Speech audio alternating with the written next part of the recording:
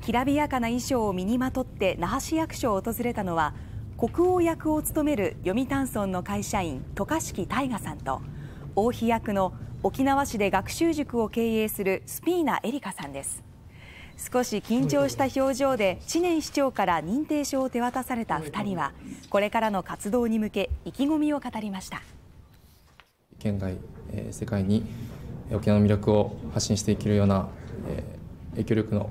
ある、えー、国王役を務めた務めたいと思います。首里城は何回も消失しながらも復活しているのでその強さとそして沖縄県民の優しさを兼ね備えて私もそのような気持ちで1年間務めていきたいと思っています。首里城復興の機運を高める首里城復興祭は来月3日から5日まで開かれることになっていて国王と王妃は古式行列や琉球王朝絵巻行列に参加する予定です。